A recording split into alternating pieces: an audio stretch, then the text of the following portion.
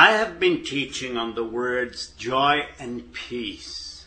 The Bible teaches that joy and peace are the fruit of the true born again believer. Many people say they know God, but do they have joy and peace in their hearts? The Lord Jesus was talking to the Pharisees, and the Pharisees were telling the Lord that they knew God. And the Lord Jesus said to them, It is funny that you say no, you know God, but you don't know me. And this is exactly what is happening today.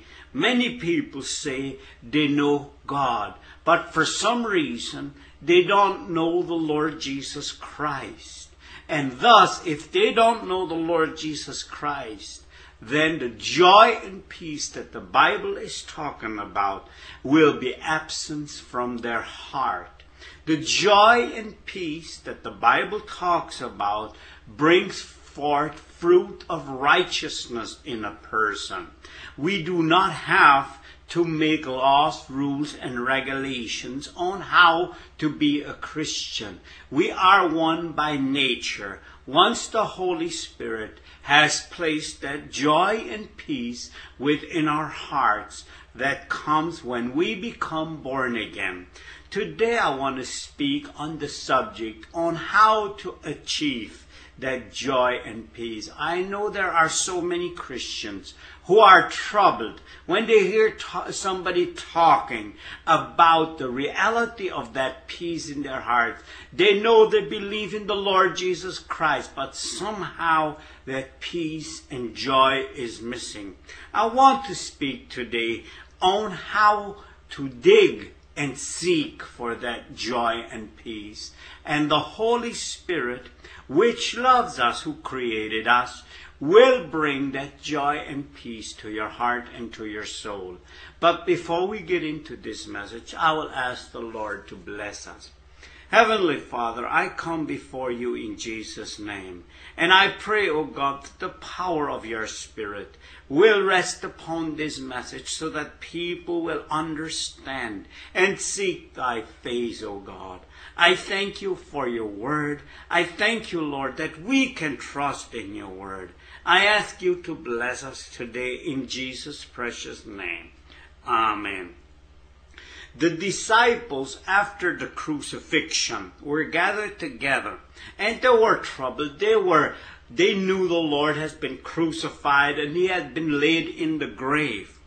And the Lord God showed himself to them. But there was one person missing, and that was Thomas. That's the, yes, the doubting Thomas we all talk about. And he had said that he will not believe that Jesus rose from the dead till he reaches his finger into the scars of the Lord, nail scarred hands of the Lord Jesus Christ and touches his side. Well, when the Lord Jesus finally saw Thomas, he said to him, Reach thy finger and behold my hands, and reach hither thy hand and thrust it into my side, and be not faithless, but believe. And Thomas answered and said unto him, My Lord and my God. Jesus said unto him, Thomas, because thou hast seen me, thou hast believed. Blessed are they that have not seen, and yet have believed. This is a beautiful verse of Scripture because there are so many people who dare to believe today, even though their eyes are not fully open, their understanding hasn't been open, but they dare to believe. They are almost like the father who brought a, a, child that was demon possessed to the Lord Jesus Christ. That is found in Mark chapter 9, verse 24, where he tells the Lord, Thy disciples could not bring that evil spirit out of my child. And the Lord Jesus Christ said to him in verse 23 of chapter 9, If thou canst believe, all things are possible to him that believes. And straightway the father of the child cried out and said with tears, Lord, I believe. Help thou my unbelief. This is a beautiful scripture for all those people who are trodden down in their belief when it comes to the Lord Jesus Christ because there are many who are confused. They don't quite understand the gospel, but they dare to believe that Jesus saved them, even though they sometimes have to hang on for dear life. Well, there is a scripture in Matthew chapter 13, 46. It talks about the person who went and looked for a pearl. And when he found that pearl, he went and sold everything he had so that he could buy that pearl.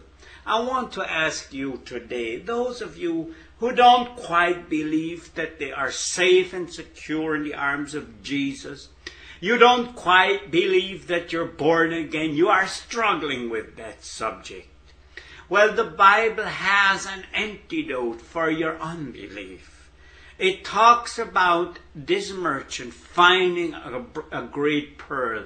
And a lot of people have found the Lord Jesus Christ, but for some reason they just quite cannot believe that the Lord will save them.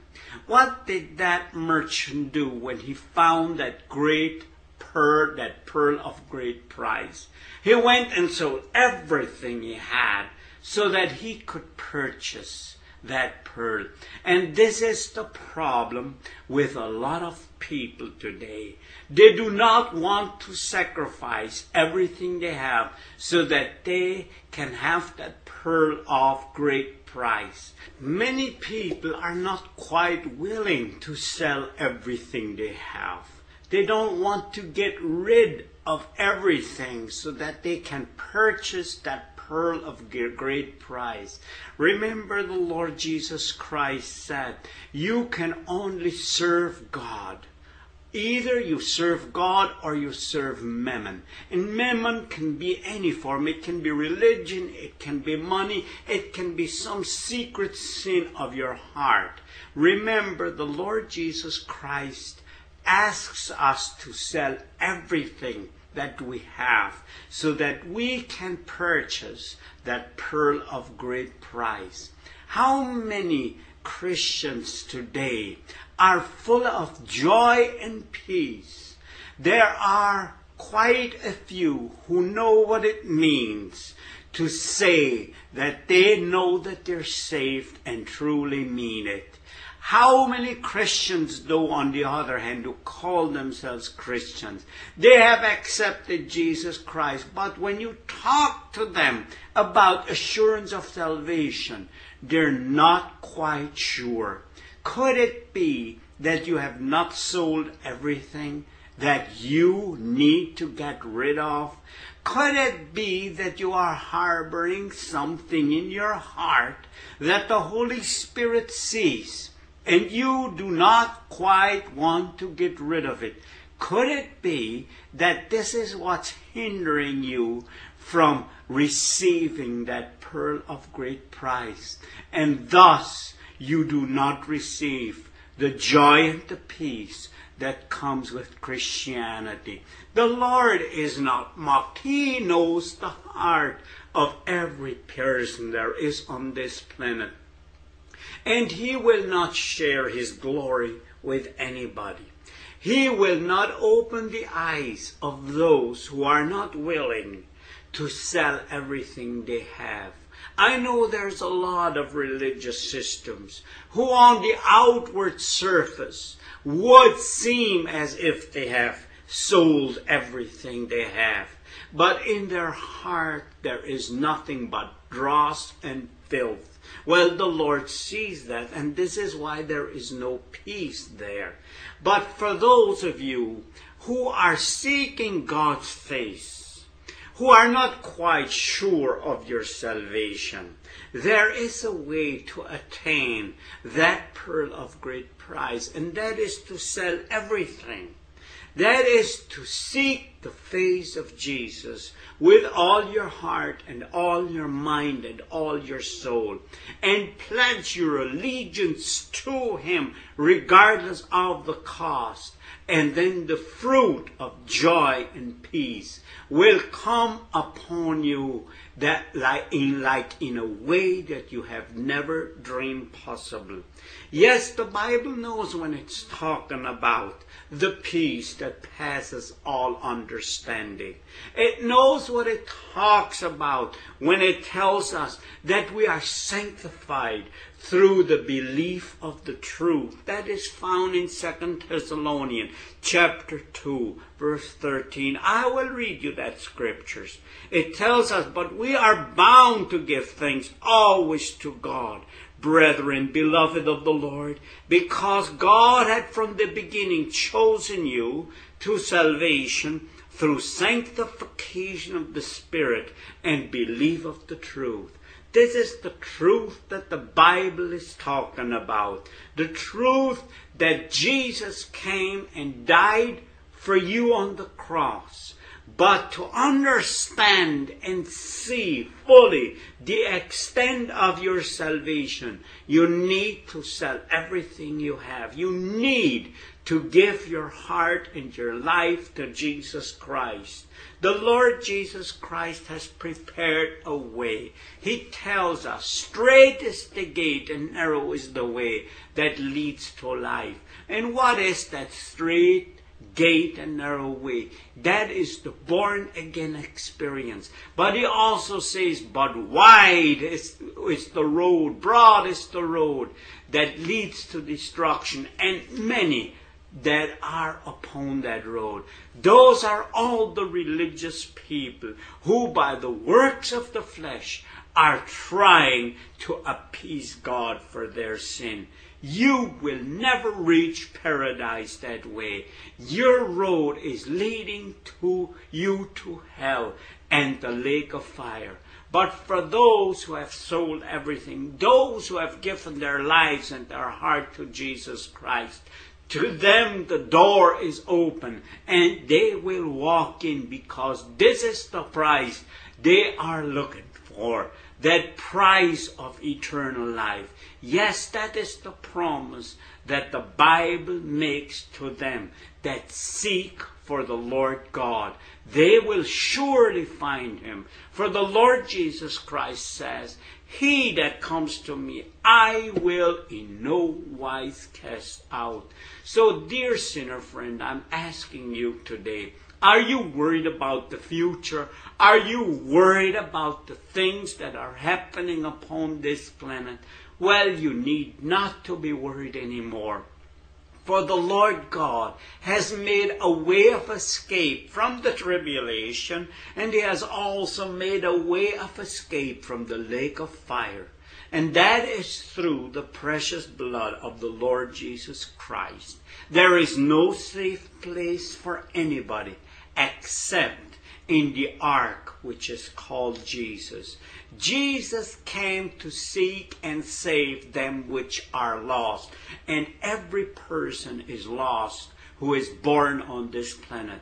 And we all need to seek the face of the Lord Jesus Christ and repent of our sin and turn to Him for our salvation. And the Lord Jesus Christ clearly tells us. He tells us the truth in the Word of God. He that comes to me, I will receive and call him my brother. So have you given your life and heart to Jesus? Have you really repented from all of your unrighteousness? Have you repented from the religion that you have been living in? Or from that idea that you have been taught of how to attain eternal life? You need to turn from everything.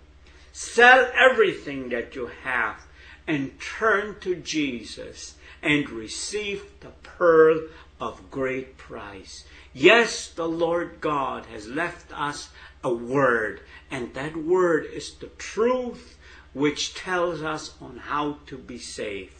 Believe that word, and the truth will set you free. from the clutches of Satan. The Lord bless you, make you a blessing, open your eyes to the fantastic truth of the gospel.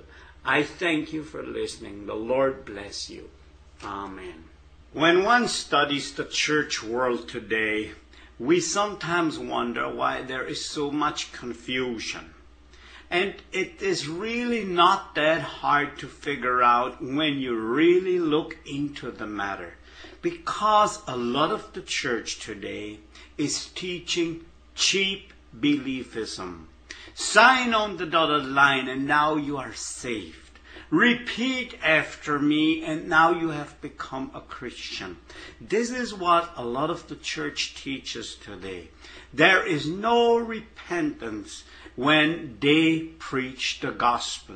They do not seem to think that this is important anymore, that people repent from the heart. This is why we are seeing such a confused mess all over the planet. I want to read to you out of Matthew chapter 13, verse 44.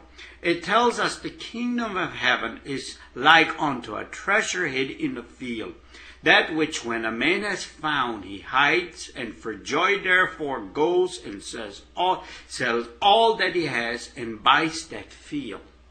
Again, the kingdom of heaven is like a merchantman seeking goodly pearls who, when he found one pearl of great price, went and sold all that he had and bought it. We can see here what is happening.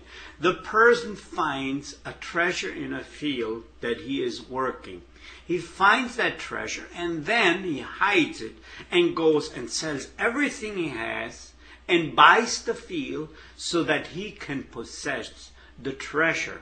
And another is the, the person, the merchant who goes and he finds a pearl of great price. So he goes and sells everything he has and, and then goes to buy that pearl of great price. Does that look like a cheap way of operating?